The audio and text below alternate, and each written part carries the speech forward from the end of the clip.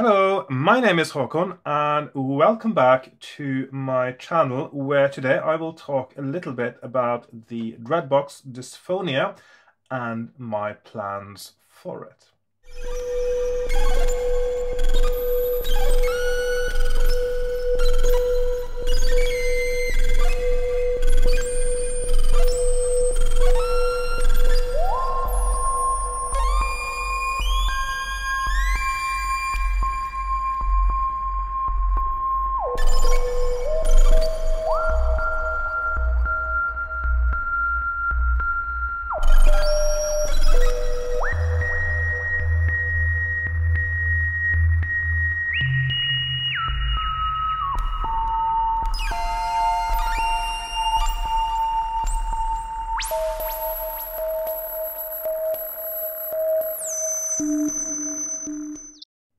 So I've done a few videos on this synthesizer talking about it and also um, more so demonstrating the kind of sounds that it can create and those are some absolutely amazing sounds. I really like having the sonic palette that this gives me in my uh, setup. But there are a few buts about it, of course. First of all, it needs a case or a box of some sort. So if you look here, it is, of course, still naked or semi-naked, I suppose. You've got the power supply down there. Um, that's one thing. Um, of course, I can make a box. I know how to do woodworking. I do have materials and tools. No problem. Second problem I have with this interface is that it's really, really cramped. Thank you.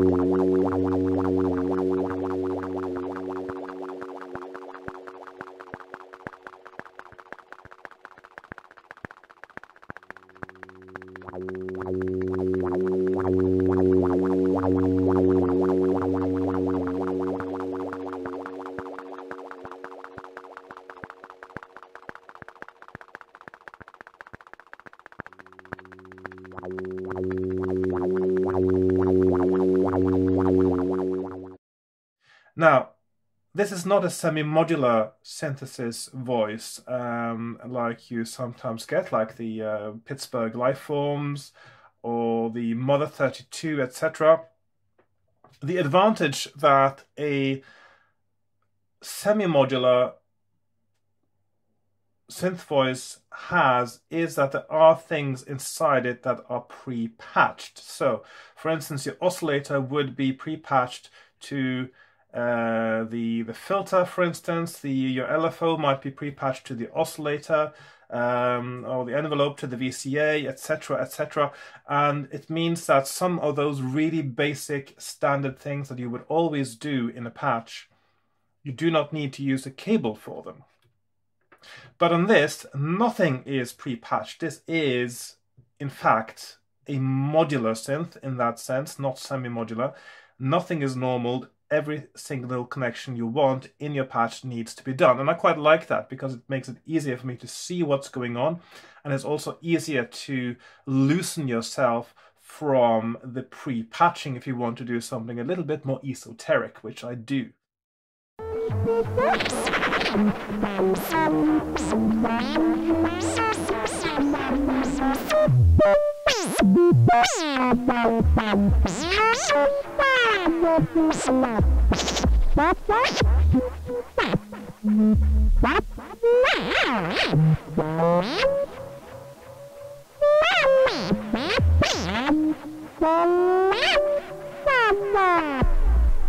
Bye.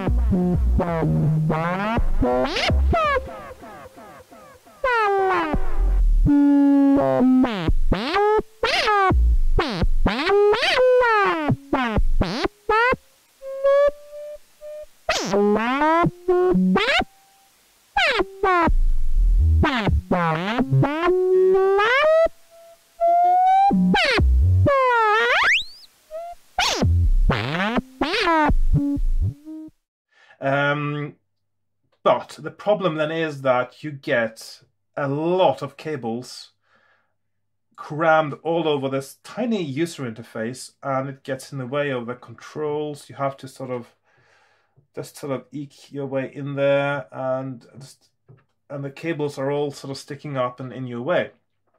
Now, I know that uh, if you are a Eurorack user, this is not an uncommon problem uh, because this is Eurorack size and uh, a trend in Eurorack is to squeeze as much functionality as possible into as small a space as possible, which I do not like at all actually. It's one of the things that puts me off getting into Eurorack, to be honest.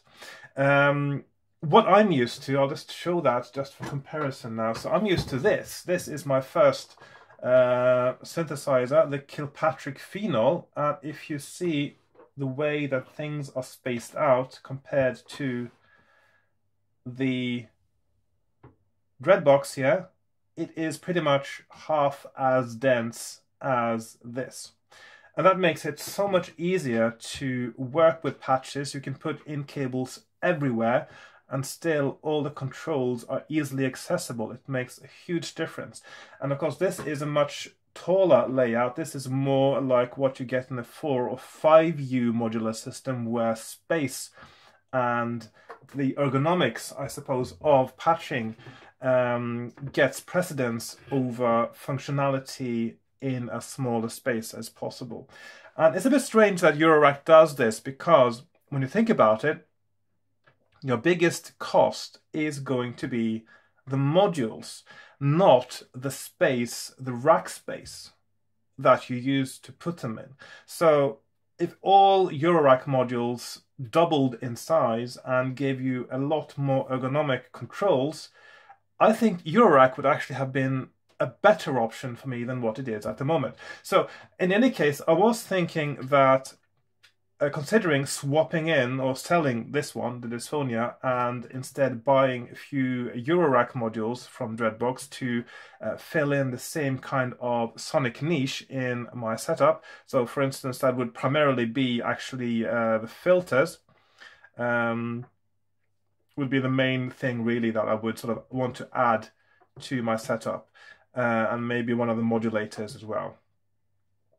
Uh, because the Eurorack modules, the chromatic modules from Dreadbox, they are much better laid out than this one in terms of, of access to controls while things are patched in and while playing. But um, as I was looking at modular grid, and of course it is a bit dangerous considering going into Eurorack because there are so many options what happened was, and I'm not sure if this is something that happens to others too, I start filling up my modular grid rack with things that I think that I want. I find some good VCAs, some uh, um, different different um, signal generators, uh, VCAs, um, all kinds of things that look really nice. MIDI to CV, of course, uh, mixers, all that kind of stuff, the bread and butter stuff that you need. And then I started paring it down again and paring it down because I don't really need that. I don't really need that. And then in the end, I had so little left. And I was thinking, is there really that much going on that I want to add to my setup that I already have than what I already have? And it's not really. It's just the desire to have something else because you are feeling that the limitations you're working under are creative limitations, which usually is just an illusion. Um, and in any case, most of those functionalities that I wanted to add were already here. It's just I didn't enjoy using them so much because of the cramped interface. So I got a plan. And as Baldrick would say, a cunning one. Because another thing that you may notice, of course, uh, if you look at these side by side, is that my main synthesizers, I've got two of these, the Kilpatrick Phenol uses banana jacks, and of course the Dreadbox Dysphonia uses mini jacks, standard Eurorack cables. And I do have some conversion cables, um, four of them that I can use to connect one to the other.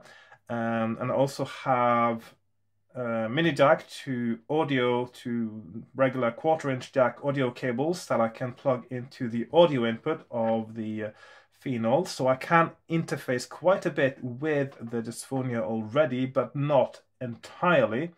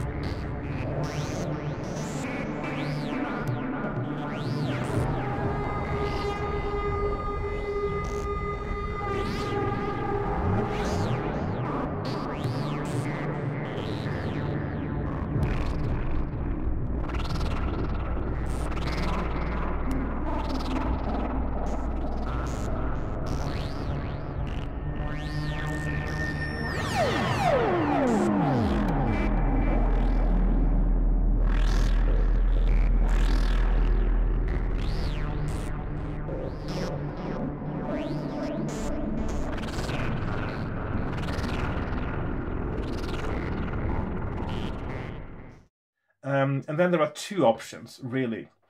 Uh, one is to have a conversion box. So I have a little box where I have mini jack sockets and I have banana sockets and they're connected together.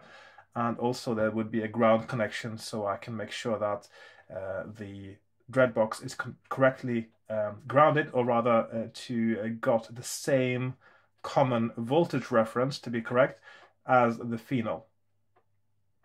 And that's all fine and good. But if I were to use something like that, I would actually add more cables and I would still have the cramped interface of the dysphonia. So I moved on to plan B uh, and I'm going to show you in a minute. So I'm just going to just show you in the air now. So my idea is that because this is a DIY synth, and of course the case is quite wide open, and I know where everything is uh, because I soldered all these myself.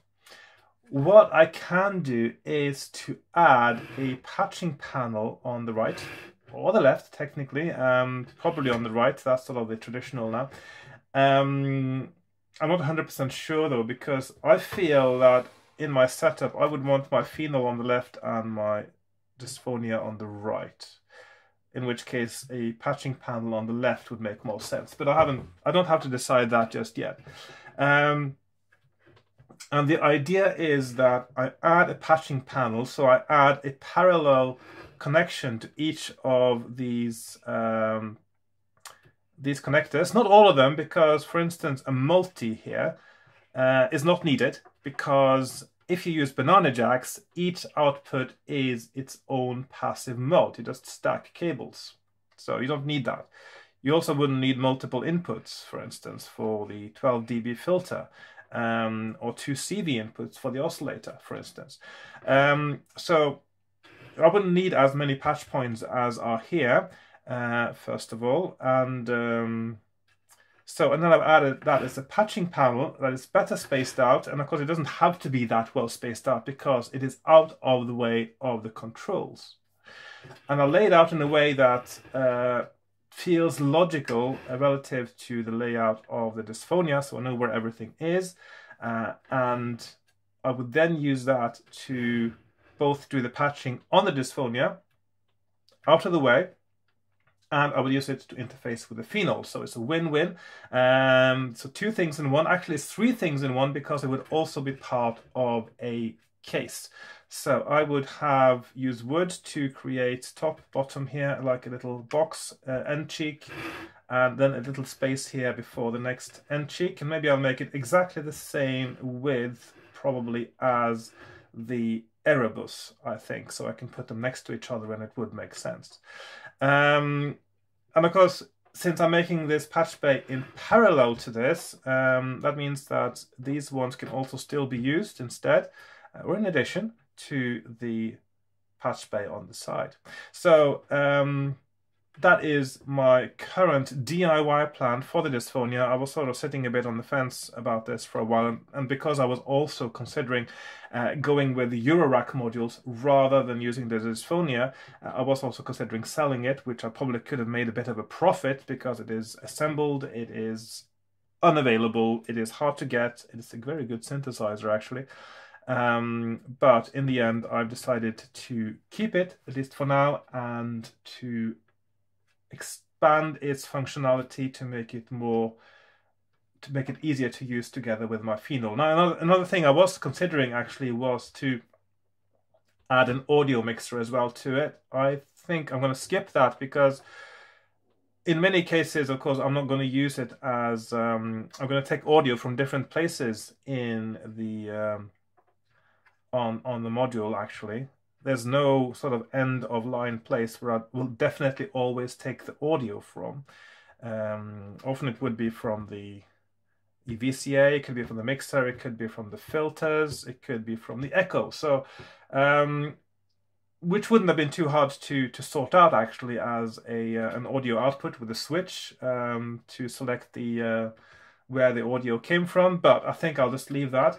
Um, another thing that I may or may not do is to put in a full-size MIDI connector instead of this one. I haven't decided yet. Um, and of course, while it would have been possible now to put this in a um, powered Eurorack case, in fact, you actually get powered pods that are 42 HP, the exact right width of this, uh, which means I actually would make it a little bit smaller.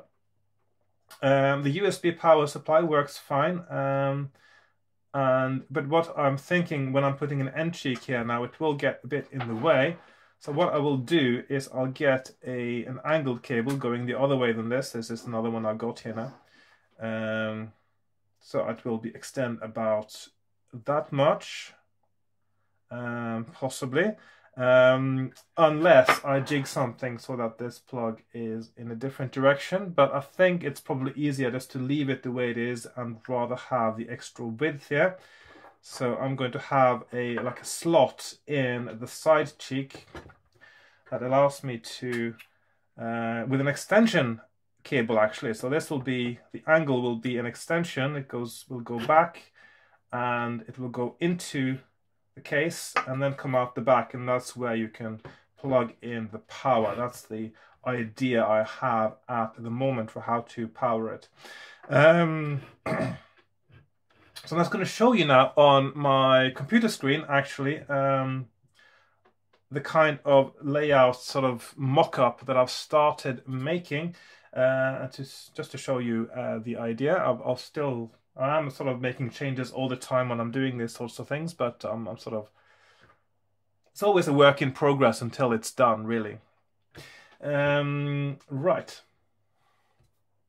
Right, so here we are on my screen, and uh, as you can see, I've got a picture of the dysphonia that I put in here to scale, uh, to so I can see how things will look next to it. Um, I'll just put on some end cheeks here just to see what that looks like. And I've tried making a layout now for the uh, connectors that I need for this ex expansion, uh, extension to the Dysphonia. Um, as I was working on this, initially I thought this might be another color and that I would use colors on the jacks to denote different functions. But in the end, I think I'm going to put in labels and uh, and make it the same kind of style as the Dysphonia panel, uh, which means I probably will end up using uh, basically just black uh, banana sockets um, for this project. Uh, another thing I had to do was, of course, find the right font. Now, uh, that's one thing that there are a few websites online where you can search for fonts. So what I did was I took some text from the uh, Dysphonia user manual that I could zoom in on uh, using the same font, which gave me a really clear picture. And then I used that picture and put it into a font search engine and it found, found me the right font, which was a free font that I could download and I could use that for my labels. So I've started now sort of doing the same kind of aesthetic um, for the labels as there are on the um, front panel of the Dysphonia itself. Um, so this is very roughly how it's going to look like at the moment. I still haven't finished doing this uh, with the labels and the titles, but I'm going to put in all these things. And one thing I had in mind that I may yet do is to put in a full-size MIDI socket. As you can see, there is room for a full-size MIDI socket. I had one here somewhere. Let's see if I just zoom out a bit. Um, I used to I think I've lost it now. I used to have a... Uh, this is just some other DIY synth stuff I've been doing. I used to... Yeah, well, that's not the right one. Anyway, I can't seem to find it now. Um, but... Um, I could put in a MIDI socket as well. Um, on on this this panel as well to um, yeah because it is easier to work with a full-size MIDI. But the thing about the MIDI socket is if I want to include the MIDI socket, I want the MIDI controls to be on the right because I want the MIDI connector to be close to the edge of the patch panel. Um, it just doesn't feel right for a MIDI cable to come right down in the middle of something, I feel. So it should be on the corner or on the edge of, of the panel um, in which case I'd move these. So I'm, I may yet move things around a little bit, but I will sort of lay it out in the logical fashion that is similar to the layout of the Dysphonia itself, so I don't have to search for things.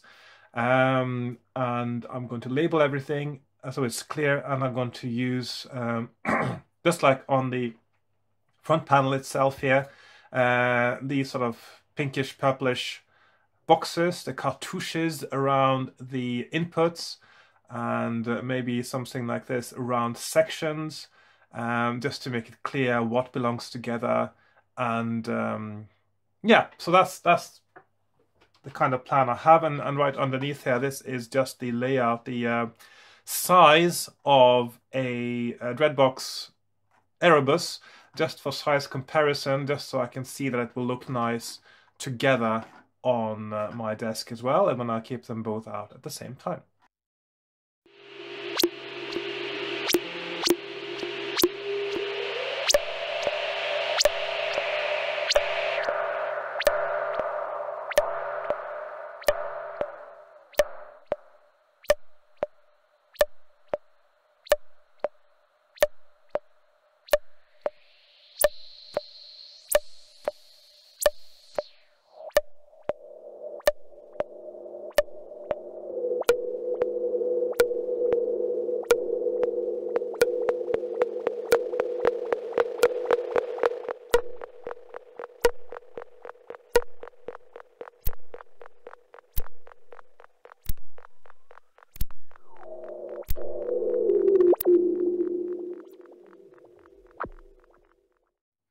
Right, so that is what I wanted to show you today, how I'm planning now to make a little expansion um, panel for the Dysphonia. I'm going to make other videos now about this process, both about making the panel, about making the wooden box around it as well, the end cheeks, all that stuff. I'm going to do some little videos on my progress because I know other people are interested in doing similar things sometimes, but they don't know where to start.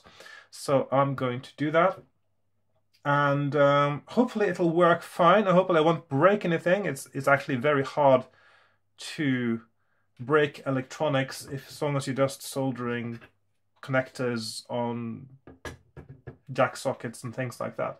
So um, yeah, I hope it'll work out fine anyway. And uh, but you will see if you keep looking at my content, uh, see if anything else shows up about this. Now, at the moment, I can't really do much uh, woodworking, uh, which of course is one of the things I have to do before I do anything else. Um, and that is because it is really cold in my woodworking shop, i.e. the garage, um, this time of year. Um, we did have a warm spell a few weeks ago, which is when I, or several weeks ago, when I made, made my desk. Um, but at the moment it is cold and windy and I do not want to work there until it is about 10 degrees uh, inside. So I need at least 7 degrees outside and then I'm, I'm usually fine. Um, so thank you for watching and I'll see you next time. So goodbye for now. Bye bye.